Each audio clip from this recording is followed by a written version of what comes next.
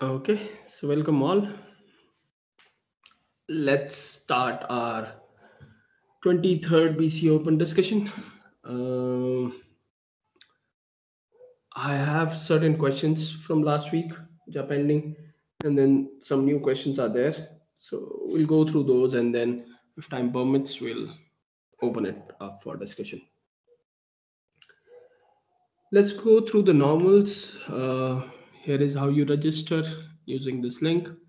This get updated and available every Saturday night after this meeting normally.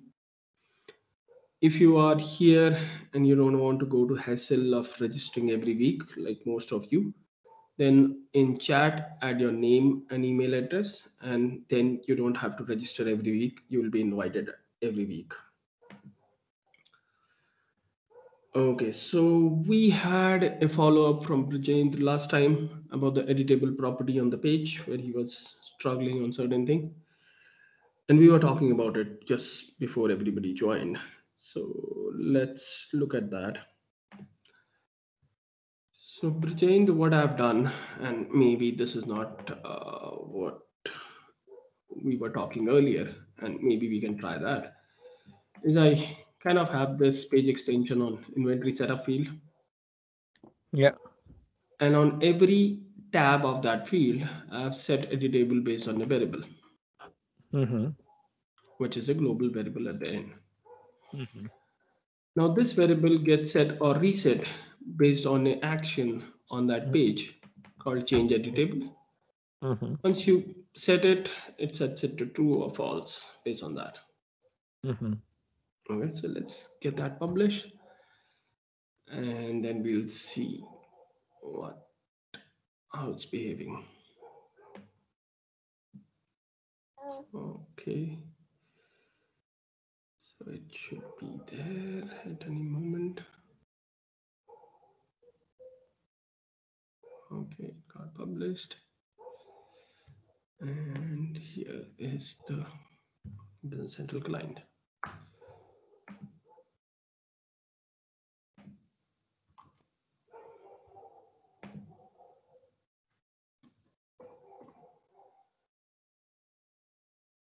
So I understand your what we were discussing earlier about having it on the a document page and then kind of Mm. Okay. saving that field. I'm pretty sure that that way also it should work in the same way if if this works as as we are expecting it. Okay. So let's open our inventory setup. And here we are, where it is right now set as editable because it's on view mode. Okay. I might have to set that. Okay. If I go back and change it to uneditable. Is it something that you're looking for or something else? Uh, that seems to be okay. That's a card page because if we have the sub page, then definitely we need to be like sure that sub page is also non-editable.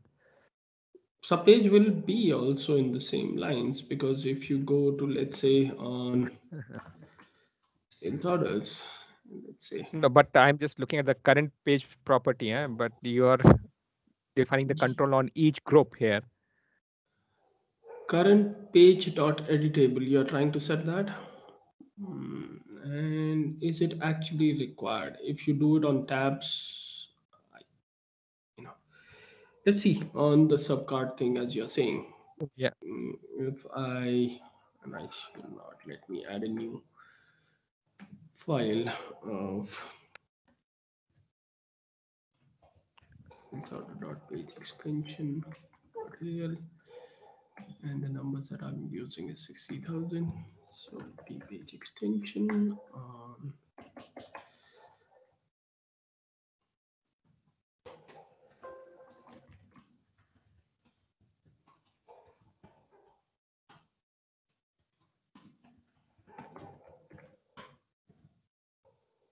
okay. And then on we have that groups, right? So Yeah. I can get the journal group and then also the lines group will be called something. Yeah, yeah. I do a modify on, I can check what the line group is called. Okay. So if I collapse journal, the part is called as sales line. Okay. Okay, let's see. Sales line. I should be able to make it in the same way. Mm-hmm. Let's try to plug in here.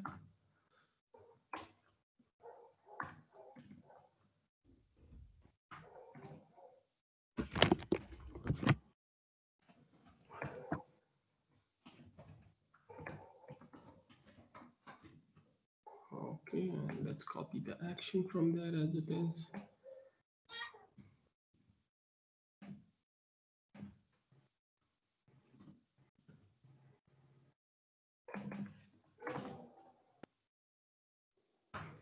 Print. Let's do a publish. Okay, I guess that number happened. Uh, page ID 42, change, context change. Control with invalid operation, modification on editable property is not supported. Hmm. Okay, so I can't set on the sub page That's interesting. So if I cannot set it on the sub page,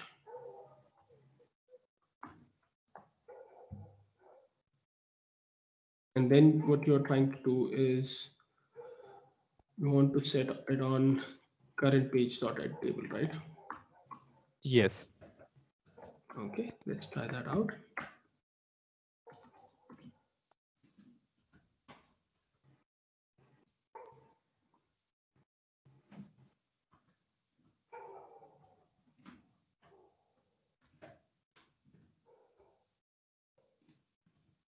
And then you have to update the page. And as somebody was saying in the last meeting, you try setting that up as false?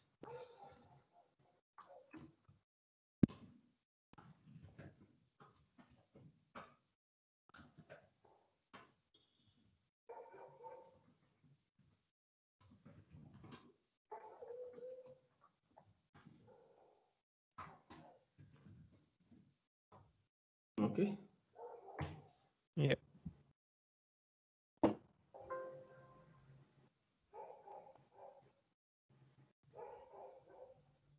okay, so if we go now to sales orders, once this get loaded.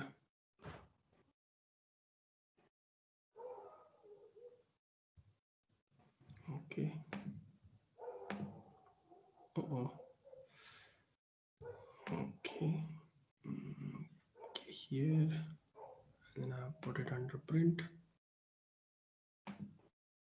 Print.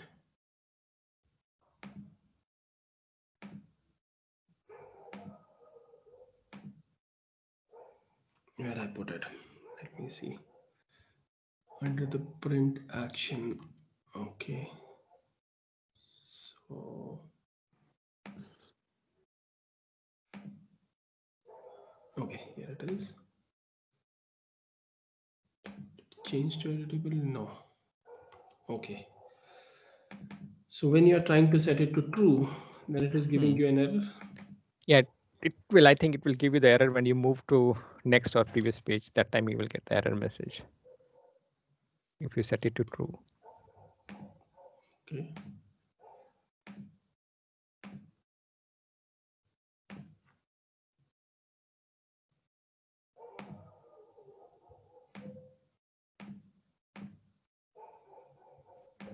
Still editable.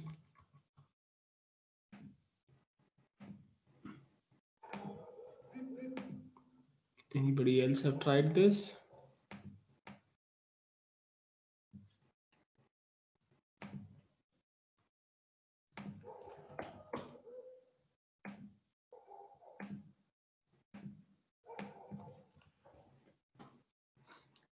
I'll have to check this on the card page. Okay. with the subform maybe I'll, I'll I'll check and I'll let you know how that you know is supposed to work here. hmm Okay. Anyone else in the meeting have tried something like this? Uh, setting up the page editability based on an action.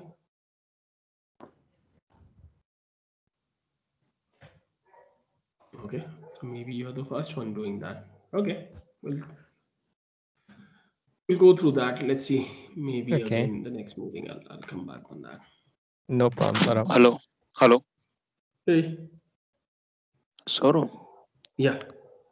I think can we? Uh, I just uh, I didn't try, but uh, can we set on a on after get record that is No, so page you of on the action, so you can't set it on on after get record, right? Yeah. I think this would work uh, somehow. Maybe you can put it Oh, like wait, report. wait, sorry, sorry, sorry. I guess I, I know what I'm doing. I did not, why I added this? Okay, if that editable boolean is not getting set anywhere. Yeah, yeah, yeah. Okay, So maybe you can add a field also. And Yeah. I just need to, Maybe add one, One field in just sales one one Boolean field, field. One field on in the sales header. one field for, means the uh, set on sales. any one field. Or maybe what you can Hello, put uh, maybe boolean field on that sales header. Uh, maybe close or editable or non-editable. Based on that, when you click the action, that time that boolean will be true, and based on that, the page should be editable and non-editable. oh Yeah. Okay, that makes Yes, sense. We he is right. Let's see if this gives an error message because I just set it to editable Okay. false at this point. Mhm.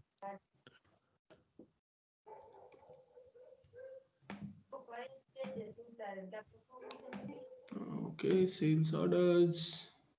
Let's try that. And under action, print. Uh-oh, I did click on something else. Yeah. Print change status. Still editable. Okay, I'll I'll try that, and then we can see that or discuss that in next week, or if time permits at the end. Okay, no problem, Saurav. I'll come back to that. Okay, so then next question is on from Said, and it is using memo blob to enable huge text in fact box. I'm trying to add item description three for each purchase line as blob in the fact box area. But I'm not able to insert or delete from this area. Is this normal? I use the same function on work description field using the sales order and I add those two functions in purchase line and I invoke those functions in my fact box. So fact box are not a kind of place where you can add or modify information that is available. Those are just for the reading purposes majorly. And you know, the only fact box where you will see some action happening in any business central page it would be on uh, customer card or vendor card. So like when you go to customer card, there is a fact box which shows you a picture like this. And then there are certain actions like you can import, export, or delete a picture, which are actions. But nowhere in the system you'll be able to edit a value which is specified on that fact box because it's just a fact that you can see. And then you can you know you like this is showing dimension but you cannot actually add a dimension unless you add an action. And the way that uh, the area that you're referring is working on sales or on purchase documents is it is actually added into the main page where let me show if you guys haven't seen it this work description is actually a text field in the design where you can put unlimited text. And then once you move focus out of it, system actually converts that text value into a blob and then stores it. And whenever a page actually gets open, that value is fetched from that blob and converted to text into this field. So it's kind of a temporary field uh, where the data user can where user can key in the data. And then once the focus goes out of this field, behind the scenes system actually converts that into a blob variable. So I'm pretty sure you can't do that into the fact box area.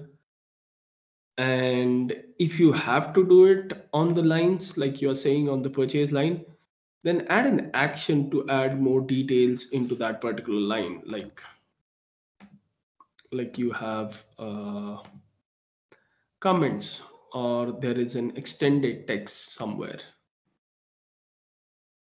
insert extended text. So in the same way, you can add an action which will then populate a page, which can be just having the work description. And then you can have the similar way as you, I'm, pretty sure you understand because you have set that into question, to have this field and having the same way that it works based on unique based on the specific lines. But I'm pretty sure you can't do that into uh, a fact box in a page. So that's the only way that you can do it, that you can add an action on your line to attach additional description on your purchase line in your case, and then have that work description kind of similar architecture on that custom page, and then save it into the blob if you need it. As in, I don't understand why you need uh, per line so much description as in how many of the businesses operators they kind of keep that line as empty of type as empty and then keep on typing the description so that they can add additional description with this type comment. And this you know also flows with your documents. You can also see history. I'm still not sure why you want a blob field. You should be good just with the description you know. Whatever comment you want to type you can type it it'll go through as it is to your posted invoice and receipt and all. So i don't know. Is it seriously a business requirement or you're just trying something? Okay next is from dinesh uh, and this is about how you connect woocommerce to business central from scratch and you know i'm not doing any marketing here but i know that artpoint have an app source app uh, which is available on the app source which does so many integrations including amazon shopify and they also support woocommerce. So if you are looking for a saas customer then i would suggest go and you know look on the app source. You'll find so many uh, you know apps which can do your integration to external entities like uh, Suite Engine have this uh, channel sales manager for Shopify. It does a complete integration solution from Shopify to Business Central. Same for Magento, and I'm pretty sure there is one for Amazon. So there are others who, you know, apps which are available on App Source who can help you with integration with WooCommerce. And those who don't know about WooCommerce, it's also a retail site like Amazon and all. It's one of the most uh, uh, kind of famous e-commerce portal, portal as of today. But yeah, um, I'll not build the solution from scratch, and that's the whole idea of Business Central. That if somebody have already done it, utilize that framework and then start using that. Anybody else have any thoughts about integration with WooCommerce or any experience with that? Saurav, uh, I did uh, some uh, uh, work on WooCommerce and Shopify. Okay. And How hard would it would be, or how easy it would be to kind it, of do it, it, would be, scratch? I, I think, I, I think there are uh, standard APIs like Shopify for, Right. for WooCommerce. The only challenge would be because uh, uh, the sandbox environment. For uh, Shopify, we can get the uh, uh, sandbox environment uh, on the Shopify as admin panel, the admin store, where we can Right. uh, create a sandbox or test uh, our integrations. But for WooCommerce, we would need uh, some WordPress site. Right. So You that need to register now- and then yeah. yeah yeah Mm, uh, you have to publish and that arrange that for that uh, WordPress uh, site only. That would be the only challenge that I face. Otherwise, uh, only the standard APIs are there. We need to call the JSON APIs, and that can work. Means means I recently I created and published an app that supports uh, Shopify, WooCommerce, and Magento. Great. That's good. So yeah, uh, Dinesh, if you join sometime in future, or I guess you are here, Dinesh. See you in the list. Yes, sir. Okay, you can either talk to Vikas or if your if your customer is using Business Central SaaS, then as I just showed you, there are already apps in place which you can utilize. Okay. Uh, otherwise, have a word with Vikas, and you know, you guys can talk and discuss about it more. Yeah, like uh, I really need like uh, guidance from Vikas. I can talk. Yeah, you Yeah, guys can we talk about it. can- You can ping me and we can mm, mm, discuss if you want something more. Okay. Okay. Thank you. Okay, thank you. That's good, man. Thank you very much. Okay. Okay, so next in our queue is from Snehal, and it's about how to create EDI in Business Central for purchase order and sales invoices, and how we can do EDI configuration. I don't have any idea about EDI integration, and please suggest a way So- to complete this task. Oh, Go ahead, Vikas. uh, means this question was also from my end too. And actually, recently I was working on the same, and uh, I, I was trying to find something that uh, can be utilized directly from Business Central without using any third-party API or any tool. So actually, I was doing some R&D, so it will be helpful for me if you can uh, share something about this. So the only interaction that I have with EDI is based on one of the ISVs, which is Lanham, and it's available for North America, and I'm pretty sure they are available for worldwide also. Uh, they have already built-in solution for EDI integrations uh, called Lanham EDI, and they are already as an extension on AppSource. Uh, they are also available on-prem if you are doing on-prem. And they sell the module based on you know they have different so many add-ons uh, have. And they sell their module based on pieces whatever you want. I haven't done it from scratch and i know this is you know so many things are there in edi it's just not that one side of integration and all. It's a complete process um, from fetching the document to making converting them to actual business central documents and then sending that data out to edi also. So anybody else have any idea to build it from scratch? That's good but i have no idea about building it from scratch i've seen it i've used it with so many customer and lanham is one of the uh, most popular uh, uh, kind of reseller in north america for their eShip edi solutions.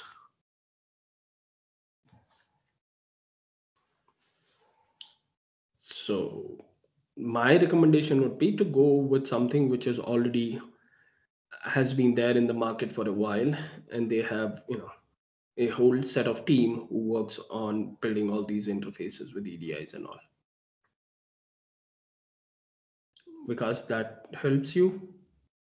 Or you're looking for something Yeah, uh, Yes, uh, Saurav, uh, Lanham, one of our client also you were using uh, Lanham vertical for NAV 18. Right. But actually, uh, our as our internally we were we were thinking that we could build uh, some solution. Yes, as you said, there uh, it's a vers- versatile application, but uh, that there are mm, so many things in uh, ASN, eShips, and uh, so many things are there. But for uh, we were thinking to create some module wise uh, in the chunks, and actually I was doing some R and D like uh, that uh, uh, Edifact. There was some site and others was also there. there so where we uh, it, uh, Edifact provides some APIs where we uh, send the data in uh, JSON or XML format. They can they convert to their X X12 that is EDI standards X12 and X52 and other EDI standards. So this could work but uh, for this um, means uh, here also we were uh, using some third party like this Edifact. So i was thinking something that uh, any is there that uh, client and uh, direct uh, uh, without involving any third party then there could be some apis we could have and then we could work. But uh, um, me as of now i couldn't find that. Yeah, I haven't heard it, and you know, uh, we, we kind of. Uh, it's good, but then the the your idea is good. The only thing is that you need to maintain that solution as as these things are keep on changing. Uh, Yes, you need yes, to yes. keep pace uh, with the changes that are happening in that particular area. So that becomes an overhead, and that's why I was suggesting an, an existing, you know, uh, known ISV who is already working on that area and have a full-fledged team who only works on it. Yes yes yes So building a new solution from scratch is it's good idea, but we also need to think from the perspective of maintaining those app keep them updated with whatever the market standards are changing and things like that. yes. So that's why I was suggesting to you know, but I personally haven't done anything from scratch on EDI, so I might not be the right person to maybe talk more about it from that perspective. Okay, thank you. Okay, welcome. Okay, next up we have from Shahid, and Shahid is here today. And Shahid question is how can we develop a workflow from newly development extension, say leave application? I'd like to apply leave application approval process. Hmm. Um, Shahid, the last time I have done a kind of a uh, complete uh, approval or workflow development was in BC 13, I guess. That's the time when I when I did it for a customer. But I I kind of didn't document it, I guess, at that point. But I was looking for uh, someone who have written about it, and I found a uh, LinkedIn article, which is two, three articles are there, which are just kind of talking about how you build your workflow from scratch. So I'll just find a link and I'll share it with you, and you can then uh, follow that and you know kind of build your uh, API, uh, sorry, your workflow from scratch. Let me find that article. I'll share the link. Okay, here it is. So this is a, how to create a custom approval workflow in D365 Business Central about the claim document. And you also also will go on the same line as you are saying about the leave management or you know leave application. And uh, it goes through uh, from everything, uh, what kind of event you need, which kind of event you need to subscribe, what table extension you'll have to create, and you know how you'll add your approval status button on that page, uh, how you kind of go and then add integration event on sending the claim request for approval and on cancel claim for approval. And then you know which event you need to subscribe how they get added into the new company when you click on that. So it goes through all those steps you add an event into the library how you add a response into the library because a workflow is a combination of events and responses and when i'm talking about workflow events and responses don't confuse it with business central events so when you open your workflow uh, let me open that. Okay.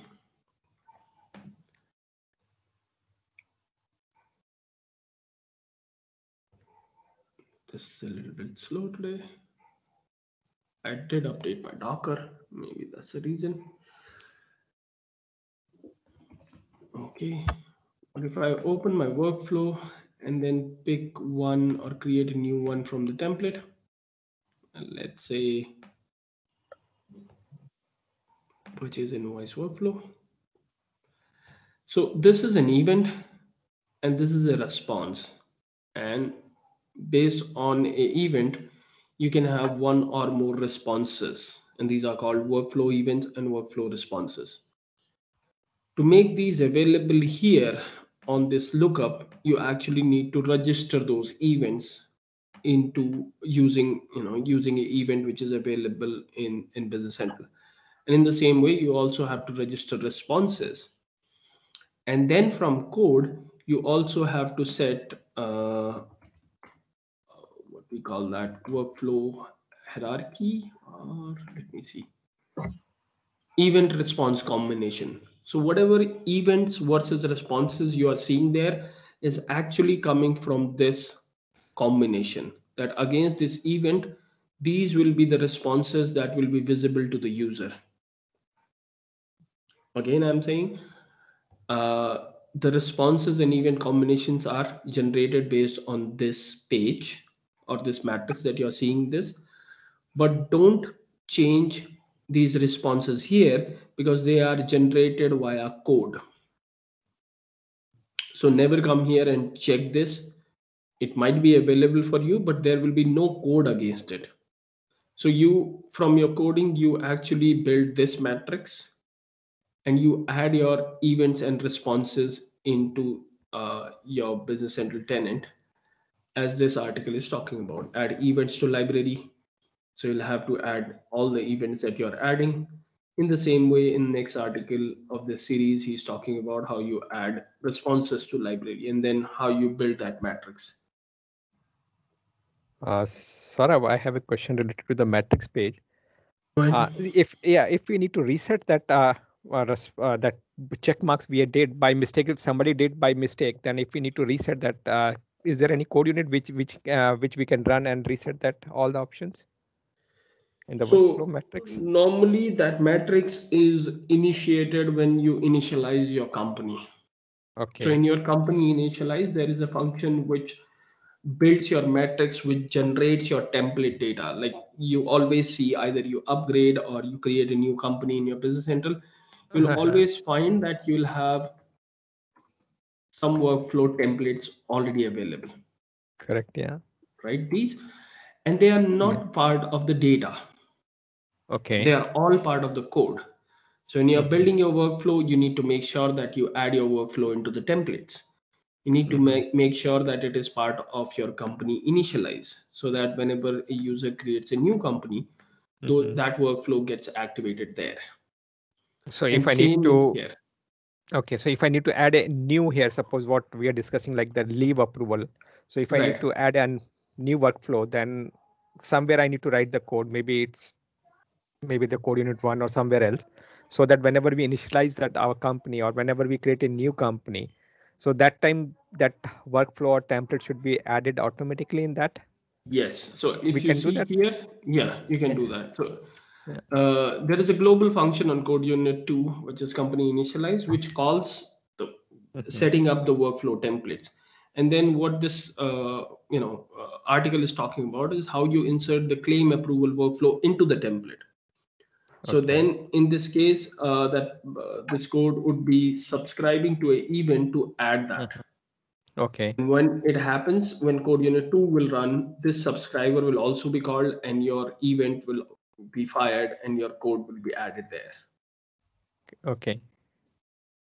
you know it's it sounds sometimes it sounds very simple to do uh, a workflow but until unless you kind of keep these things into mind Mhm. how you actually build it from scratch and then Yeah. always when you're working on workflows make sure during your testing you create a new company and see is your workflow Mhm. available there or not because otherwise Okay. that can break the whole logic that you know, Mhm. it's available but it's not configurable Okay.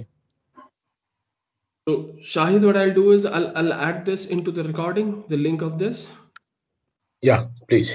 okay take some time anytime you are working on workflow my experiences take it slow don't rush toward it and you know i while i was doing it for the first time i actually had to delete the database while i was testing it because i was completely going crazy at that point because that was the first time while i was doing it so try it on cronus uh, build your extensions and that should be completely uh, kind of installable and then configurable at the same time it may take some time, but it's it's a fun process to do this without touching any base object and then making it the way other workflows are working. Thanks, Saurav. I will I will go slowly and check it. Yeah, I if I have some time in future, I'll surely try it in Business Central. I haven't tried it in Business Central, but that's surely a fun thing to do. Thank you. Thank you. Okay, and then we have this question from Jay Banerjee, and I guess he's here, but I have Jay Banerjee. I have no idea about it. So anybody who's working on Dynamics Nav Indian localization, I guess this question comes from there. During invoices, there is an error called newtonsoft.json link queue object parse failed.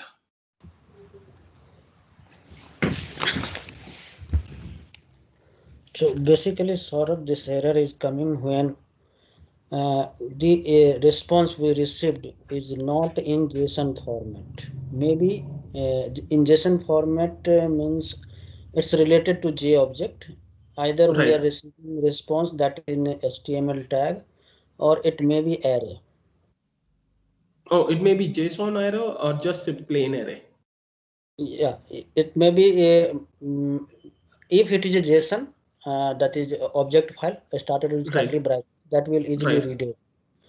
If there is a response like something we are getting 405 or something, so in that case, system is not return, returning data in JSON format. Basically, it is in HTML format, Oh, XML format. Sorry, yes, XML. okay, format. XML format. Yes, and uh, in the case when data is returned in array, so J object is uh, uh, actually not uh, not getting exactly the data, so it should be read into array first, and then from array array list that data should be transferred as a array li- uh, JSON object. Then it will uh, it, it will uh, will be readable by J object. Okay. So maybe it, it might be a little bit confusing and maybe next week uh, we'll talk about it because I already have a question about it.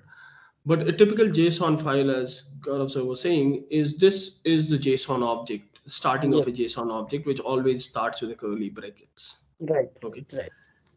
Anytime you see this symbol, this is a JSON array, Yes. right? So uh, Gaurav sir, correct me if I'm wrong. What I, what you're saying is it's either actually returning an XML or a JSON array, not actually a JSON object. Right. Right. So uh, and Jay Banerjee, you are saying it's during the import.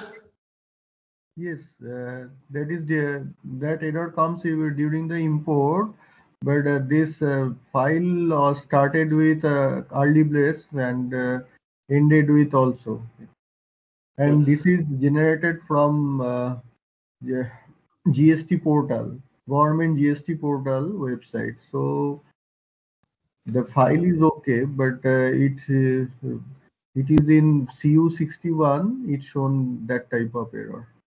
Uh, then it could be the when you are parsing with uh, uh, object uh, actually property name that property name is exactly not matching so that might be the case So uh, you mean to say that uh, the file is file may be wrong, but uh, there No, is file no, may be correct uh, file may be correct but uh, when you are trying to parse it.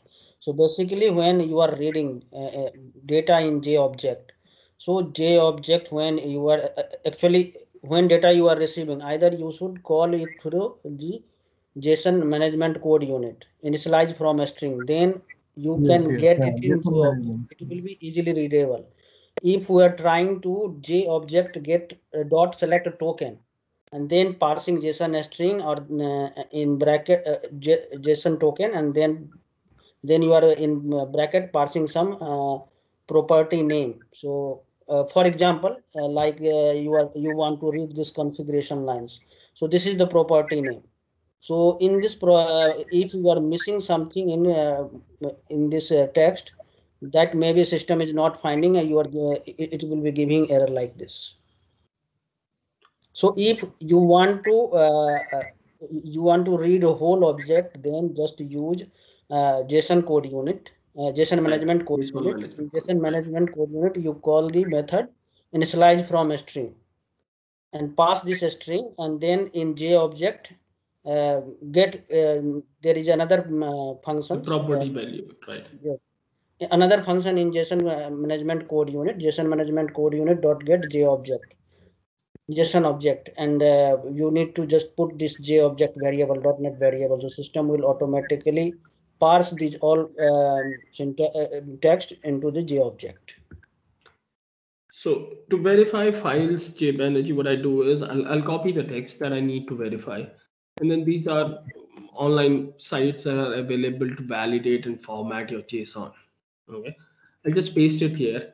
And then when I'll do a JSON validate, it'll show me that is it is the file is correct or not. And I don't Okay, okay. So You know. I will send you the file. so as in you don't need to. These are um, you know open source website where you can go JSON formatter if you just search for it. And if there are any errors, Yeah. yeah. If there are any errors, it will list down. So this part will verify that your file is correct or not. And if your file is correct, then what Gaurav sir is saying, then you can use the right code units to kind of read the property value combination from Right. you know from your file. Okay. So this website will help you to verify that your file is correct or not.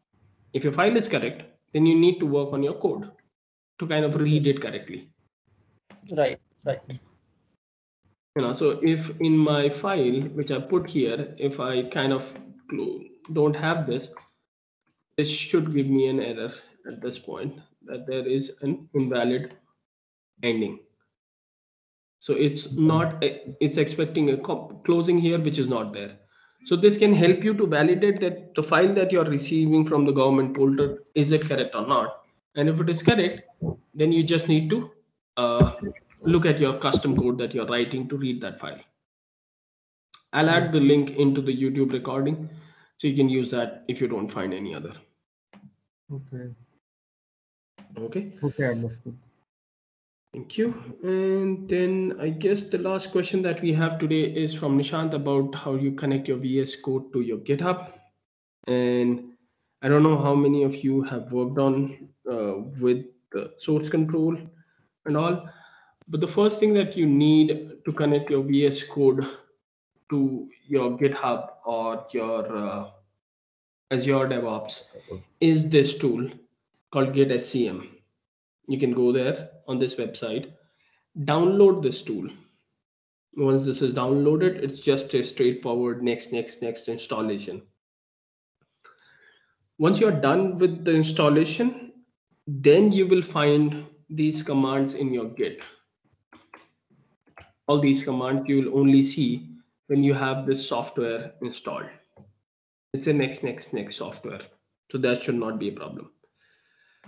And for Nishant, what I've done is I have broken my connection to my GitHub, and that's you know kind of in your credential manager where your credentials are stored. So let's quickly see how you kind of clone that and all. So if I go to my, let me find my another session where my GitHub will be open. Okay, so here I am on Microsoft website, uh, or sorry, Microsoft GitHub portal. Uh, we need to understand that we can clone from any repo, but we, you know, should be committing. I, I prefer to fork it and then commit on on my own branch, or sorry, on my own Uh, GitHub portal. So if I go back to my portal, where I have all my repos, and let me see if I pull one of the repo here, let's say what we used last week or Shahid's one maybe, and I'll copy this to clone this. I'll go back to my git and I'll do a git clone. Is a URL, click OK, add a path. and say select repo. Right now it's cloning that and it got cloned and you click open and you see all that source code into your local machine. Now it says that it's not connected to GitHub because I've removed the credential. So anytime you're working on any source control, it's kind of a thumb rule and I'm pretty sure you can control this on your settings. Never write to your master or main. Always create your own separate branch to do any changes. Master or main is considered a kind of a true match to your customer tenant in case of Business Central. Any code that is in your master is expected to be available on your customer database as an extension. So we never write ever into the master directly. So the first thing that I'll do is I'll click on this and I'll create a new branch and say demo. Hit enter. This will change to demo or whatever you want to call it. But this branch is still available locally and I'll not be able to see it here in my GitHub. So I need to push this command, or sorry, push this branch back to my Git. For this, what I'll do, I'll go to source control. Using these three dots here, I'll select to push my branch to Git. I'll say that the branch does not exist. And I click OK. Because I haven't authenticated it yet, and after installing that git scm which we did you'll get this icon or this window that i know you have cloned the branch but i cannot authenticate you as the actual owner of that git uh, you know repo from where you are pulling it. So i'll say okay sign me in to the browser. It'll open it. I'll check that okay this is me. I'll say okay authorize this need my password. Once I validate it, you can now close and it's started synchronizing here and its synchronization is over. So now if I come here, I should be able to refresh this and see that there is a branch created demo on this. So I see that there are three branches. I go there and I see that the active branch is demo which was created you know uh, 18 days ago because I haven't changed anything. So that's why it's saying 18 days ago. So if now I go and just for testing, I change something on my document.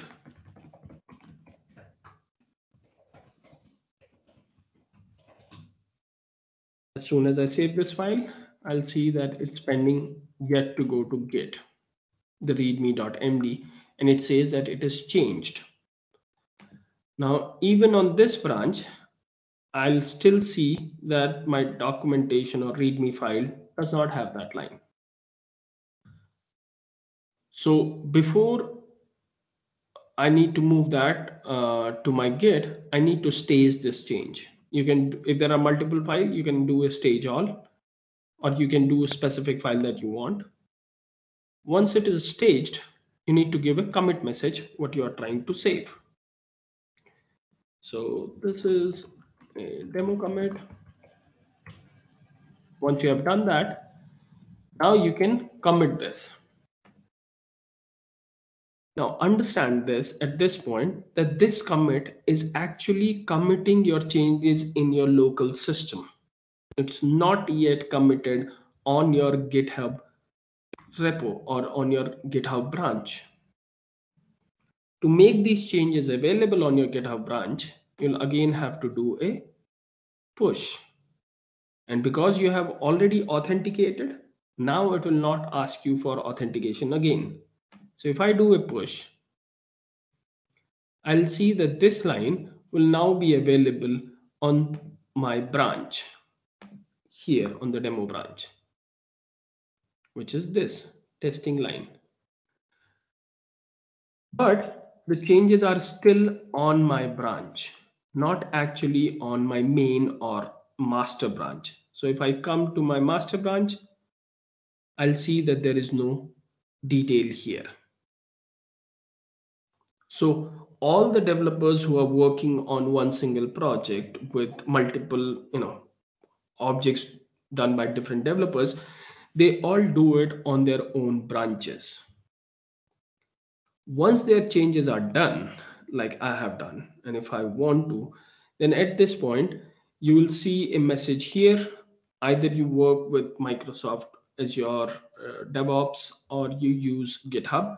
You will see that anytime you update a branch, it tells you that do you want to compare and pull request.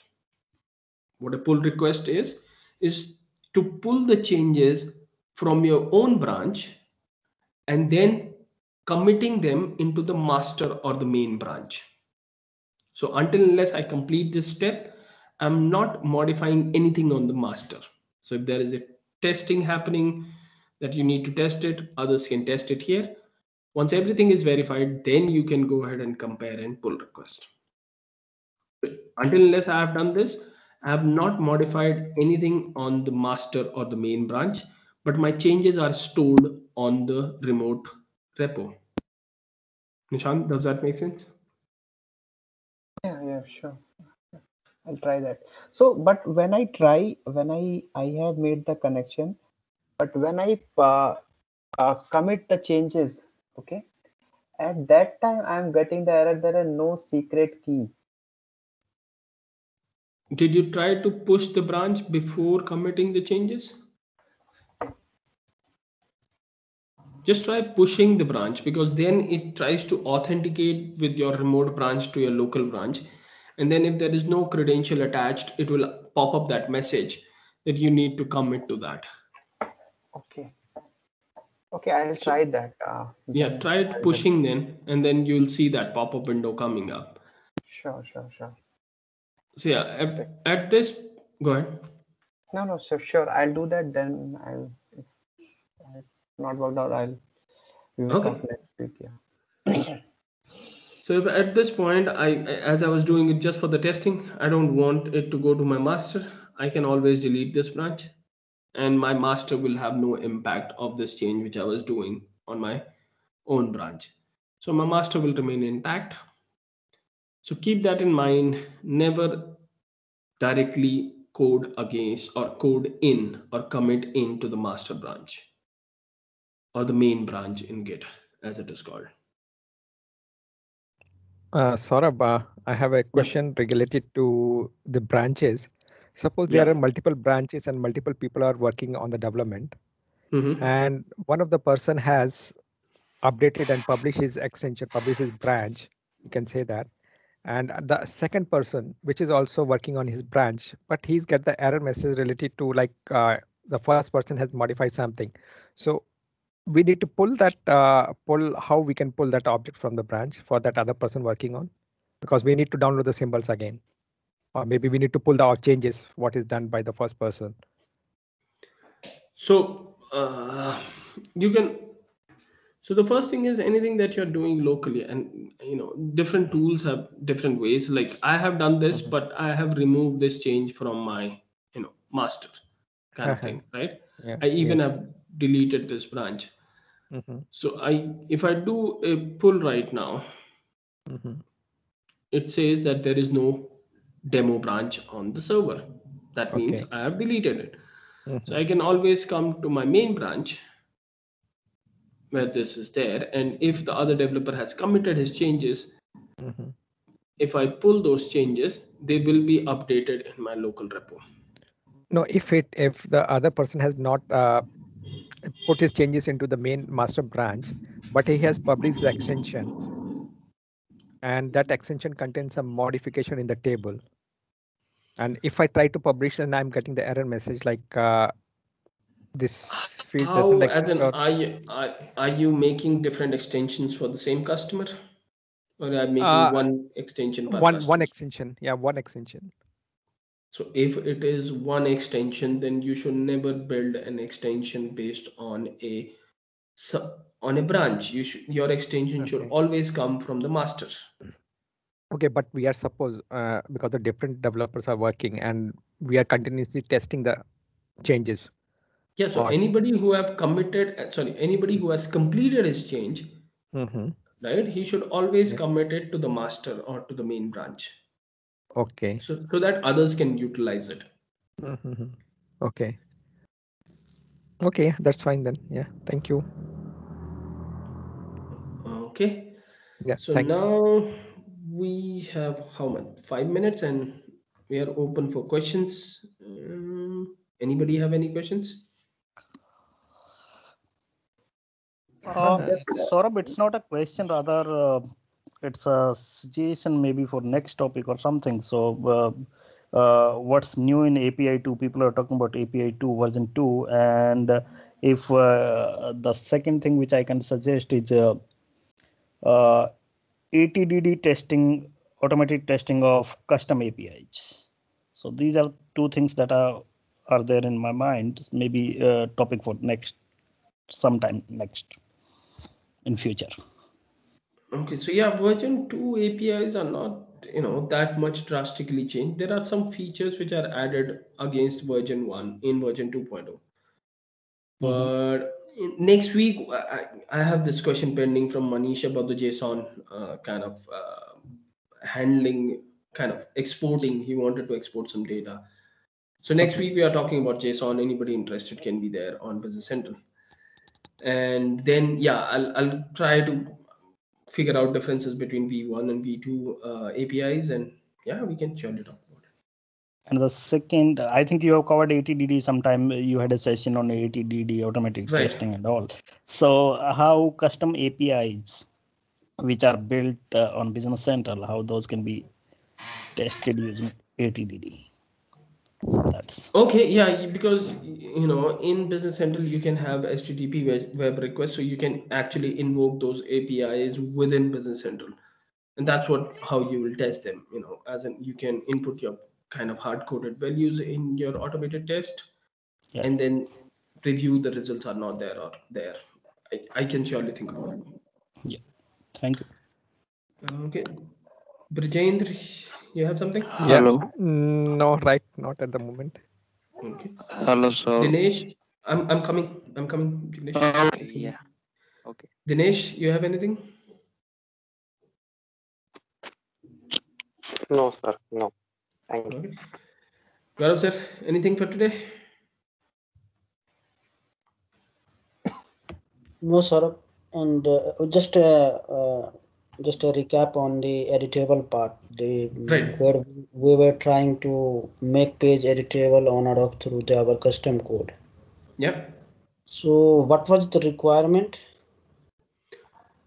Uh, the requirement was that uh, based on action, I'm going to make sure that my page turns editable or uneditable, kind of thing. So basically, uh, I have tried it some sometime. mm I think uh, two weeks ago. Mm-hmm. and uh, what I found that uh, the page property Right. that is e- editable part is not accepting any variable. Not accepting any variables. Yes. So not sure. Actually, it is saying that uh, it, it it is not expecting the uh, any variable. Actually, vari- when you are trying to write that variable, which Right. you are, uh, we are setting it through our code. So that variable is not coming. The IntelliSense is not detecting that variable. Anyhow, if if we um, uh, writing manually, then uh, system it is giving something error. So basically, the way around is to make the fast tab non-editable. So we can set editable property with our variable to the fast tab. But then it's not working on the subform thing, like on purchase order. You can't control the lines as we were seeing in today's Yes, of. yes, yes. It works on the you know main part, but it doesn't work on the sub page. But I'll give it a try. Let's see. Okay, okay, okay, okay, Thank you. okay. Jay Banerjee, anything for today? And uh, one more thing, sort of. Oh, go ahead. Yeah. So No, thank uh, you. also if you include uh, um, if uh, Microsoft is releasing any new, uh, new cumulative update regarding Business Central, so if you brief about the what feature that they have released, Sure. That's not a problem. We can surely talk about it.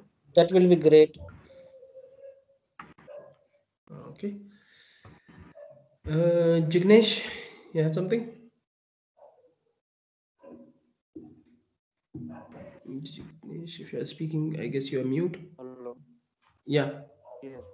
Uh, last week, uh, I ha- I have gone through one uh, debugging point in AL.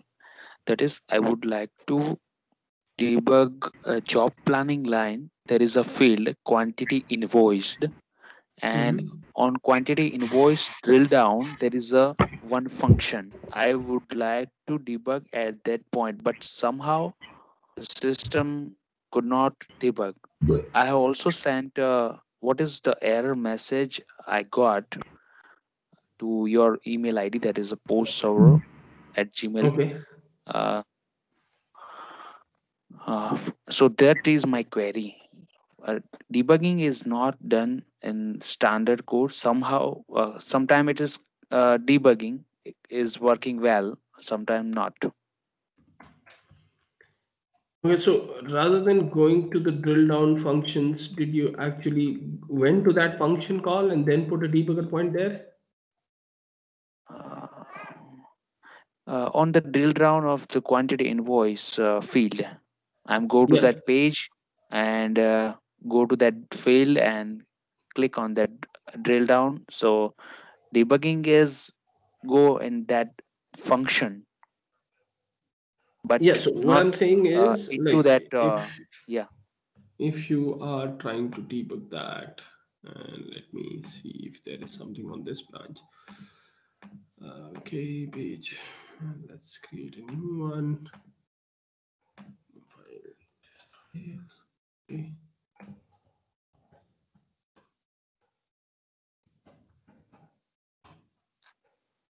What was that table?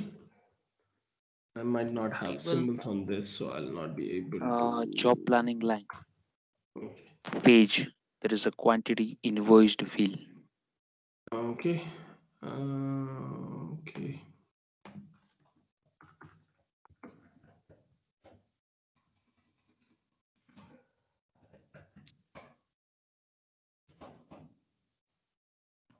Job planning page. Yes Job planning lines. Okay. And there is a field called quantity to quantity invoiced. Is it? invoiced Okay. yes yeah there's a So drill down job in yeah. Go to definition. Did you actually try to do this here? Oh, because it actually what it is, it's running a page. Show details, false, set parameters. So what actually you want to debug? Because there is nothing to debug as it is just running a page on job invoices.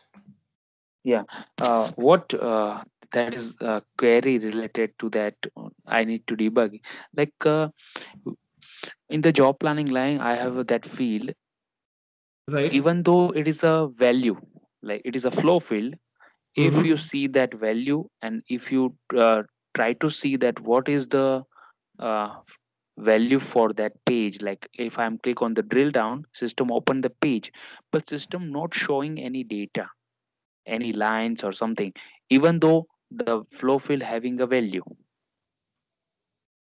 That's why i need to check that uh, why what system is doing. And uh, after that what i have did i have created a same field as a my, uh, my extension like uh, add a s- same field. And in that field if i'm open that page and system will showing that lines uh, entries. In the standard field system is not showing like flow field details value entry. In the my custom field system showing the same code same uh, value. You copied the same code.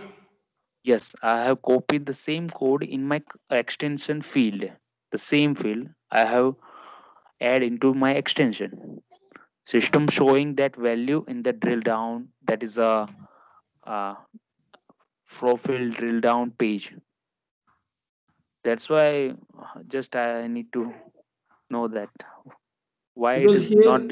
here is what that function is called before your page gets loaded. Okay. Okay. Which sets it based on the detail level, uh, job number, task number, and the planning line number. Okay. And my only worry is about this set detail level. And then what happens with that? Because on loading of this page, which is the standard page, actions on open page. Uh, okay, create invoice, find invoice, and set oh, these are functions. I'll have to kind of replicate that, and I don't know in the Cronus database that you have anything on the jobs or not. You know, Okay. Okay. because if it is if you have copied the same thing you are saying that you created a new page extension and copied the same field renamed it having the same formula if that's working then that should also work No, no, no. Uh, what uh, is uh, I have did? I have add this field into the page extension, not added a new field into the table. Just add this field into the extension, and system will showing a drill down page entries. Why you added you can just change the visible to true right it's visible false No, no, no. Yeah, I have tried to visible uh, true, but system is not showing the details. When I'm click on the drill down, system not open the system open the page, but not showing the uh, lines detail, even though Did the you- flow field having a value. Did you see on the using the page inspector what filters are being applied on that page while it is getting open? Yes, I have did all also. And those filters are correct that they are supposed to be? Yes, yes. Uh, filters are correct. I Filters will have correct. to somehow replicate it, or maybe in the next meeting you'll have to share your screen to show us what you Yes. mean. Yes. But Uh, if it is share. working as a custom field, then it should work as it is. I don't expect it not to be working. So maybe I'll, I'll check if there is job data. Otherwise, Okay, I'll, I'll create no problem. Uh, but just uh, need to. Uh, I think one thing I would like to know that uh, is there any possibility some like uh, sometime debugging is not working in the standard code? Is it possible? I anybody else have any experience? I'm not sure that I've seen that not happening.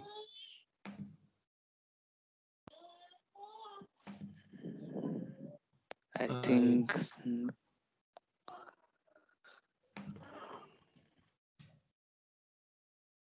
You said quantity invoice, right? Let me drag it here. Okay, it's already zero in this, but and down there. You're saying that this is what's happening, right? It's coming as blank. yes. Even though the flow field having a value, show system will uh, need to show that detail entries into that uh, job invoice page. So before next meeting, I'll I'll do some invoicing on this job, and we'll see is it working or not. Uh, Until unless I have value, I can't actually comment on. Okay. Anything else? Thank you. Thank you. Okay. Then we have couple couple. Anything? Nope. Okay. Nishant, anything else? Yes, uh, just a little thing. How if how would I see the property of a field or a page like we used to see it in the nav shift F4 like something? Can we see can we do that in here? Base field property? As in Microsoft field property? Yes, yes, yes. Like yeah, you can see it here. Like like here it is, right? That's the visible I- is set to false. No, no, like this is fine. This is I can write, right? But I want to see the let's say I have added a field and I want to see those properties which are already there and I used to set them editable, no and false. All the Oh, standard Okay, property like that. got it, got it. So if I'm adding a field, T page field, okay, let's say, uh, okay, uh, sorry, let me do a, is there a table? No. So if I do a 60102, okay, T table function 60002. So the only thing is that you can do a control space and see all these properties. All these are the properties that you used to set. They might not be in the same order, but these, Okay, you know, okay, okay. these are there. I don't know what is available with the new AL file wizard. Let me see if I create a new table. Yeah, so it gives me the basic, very basic properties that I can set, which is the ID, name, data type, length, and data classification, nothing Right, else. right, right. Okay. But yeah, control space IntelliSense should be able to give you what you you know need. The idea is to kind of set only those properties which you need. Yeah, right, right. Okay. Thank you. Okay. Because you have something else for us today? Uh, not uh, nothing much. Okay. Yeah.